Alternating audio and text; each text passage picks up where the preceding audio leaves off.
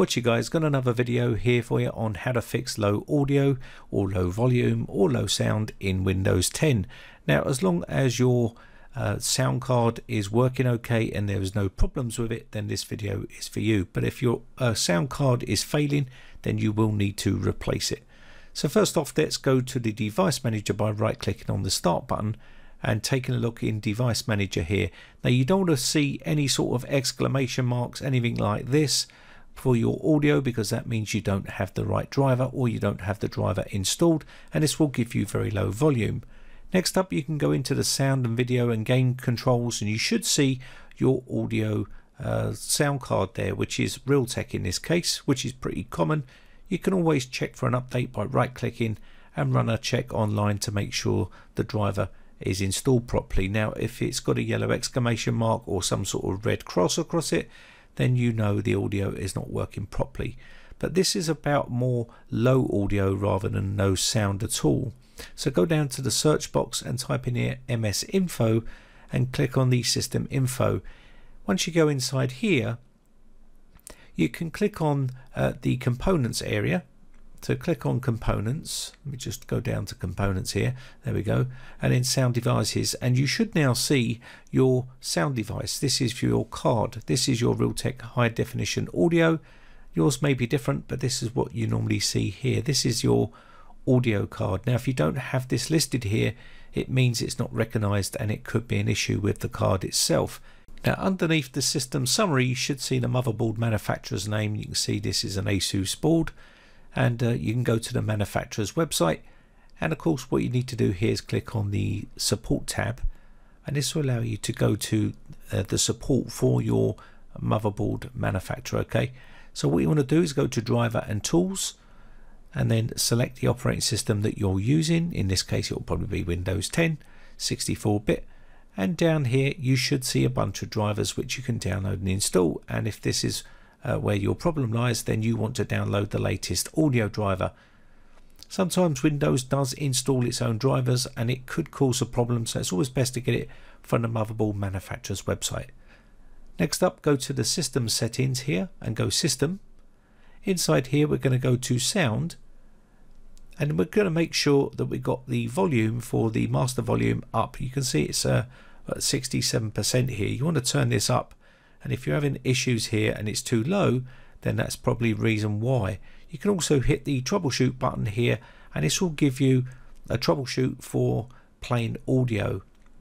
So this is just for plain audio but you can also troubleshoot if you're having issues with recording audio.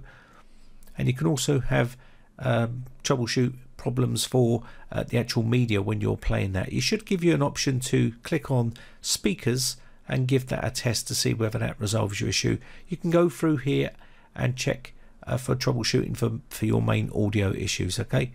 Also you've got managing uh, sound devices here so you can click on this here and this will let you see the options for your audio. You should see speakers. You can click on the speakers. Make sure you click on the right one for your Realtek card or other um, sound card drivers. These are disabled so make sure your audio is not disabled here and you can do a little test by clicking on the speakers and it will give you a little test and you should get a sound test coming out. If you're not getting any sort of sound test then there's an issue with your speakers. You can also make sure the output is selected to your sound card. So make sure you have got the right one selected. You should see audio coming out of it but if you've got low audio then you can uh, also check some other things and I'll show you how to do those. So go over to the right hand pane here and click on sound controller panel and this will open up this little box. This is the box you're probably familiar with with previous versions of Windows and you can get to that by going down the bottom as well. Now inside here this is your playback. The playback is the sound that you're hearing on your computer and this is the area where you want to look. So you want to see any sort of sound coming out. There should be a little green bar going up and down. Click on this one and then you can click on configure and this will allow you to configure the audio so hit the test here and this will give you a sound test through each of the speakers.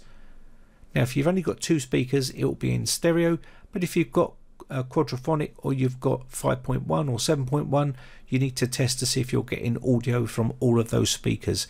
If there's an issue with some of them like the subwoofer or something like that then you've got issues with your speakers themselves and you need to sort that out. So I'm just going to quickly finish this off and go next and it should say configuration complete and it does.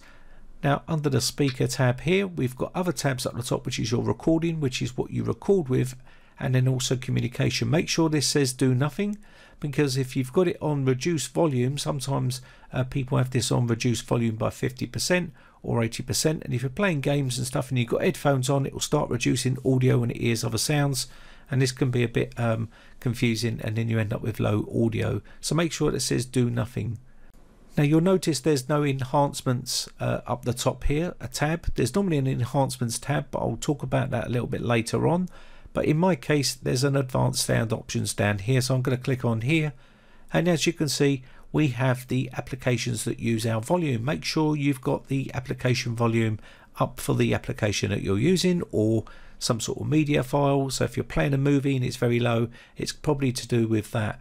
Make sure the output and input is the right um, uh, type of devices you've got in there for your recording and also for your playback.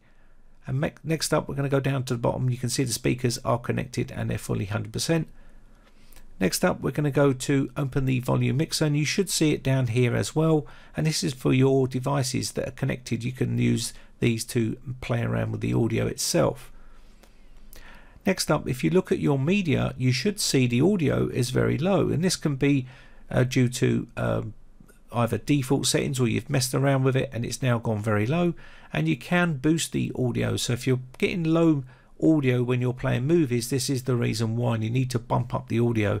And this can be for the same for any media player that you're using, whether it be Windows Media Player, VLC, any of those. You can control them down the bottom right hand side here by just bumping up it the volume. You can see it's controlling the actual volume on the software there as well. Now you can also do this within the software itself and you can bump this up by dragging it across and making sure. And there's also an increase and decrease up the top here as well which is a bit more in increments. Just make sure you're not blasting it too loud because obviously if it uh, will start sounding modulated you don't want to do that. About 100% or 90 odd percent that'll do. So once you've done that, you've realized it's not that, you can move on to the next thing.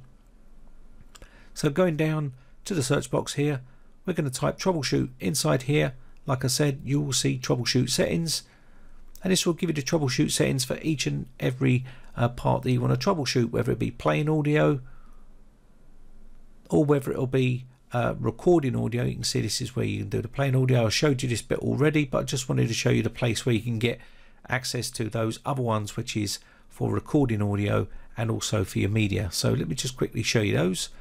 You've got recording audio here, which you can troubleshoot, and also video playback. This is going to be for all your movies, TV shows and stuff like that. If you're getting low audio, you can go in here and troubleshoot as well. So that's where you can do the troubleshooting uh, for your uh, audio devices.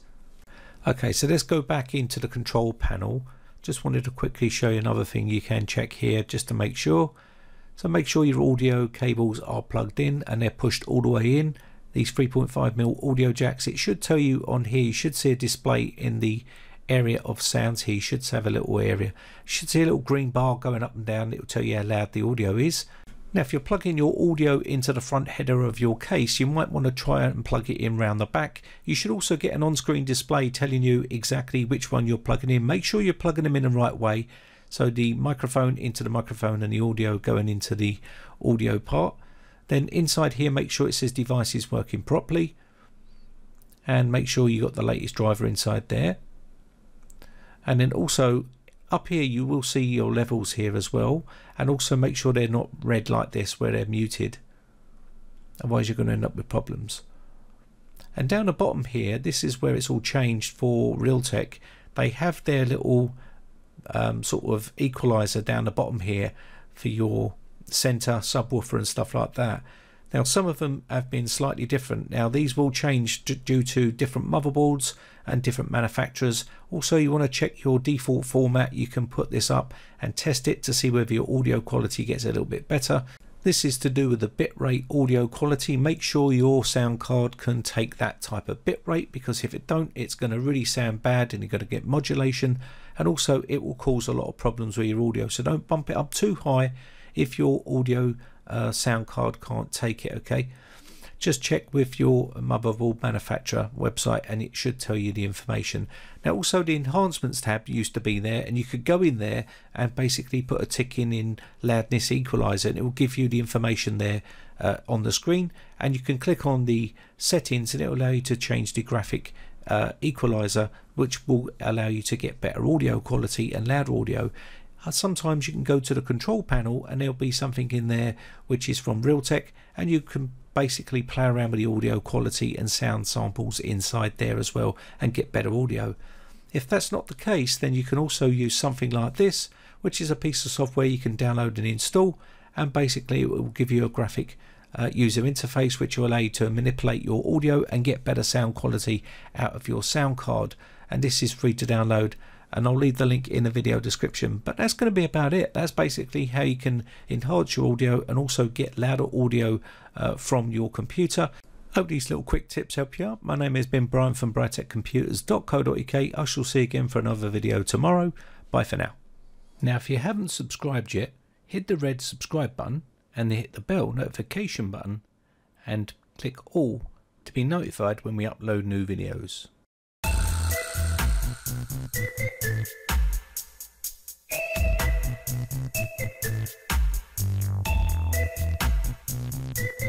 you.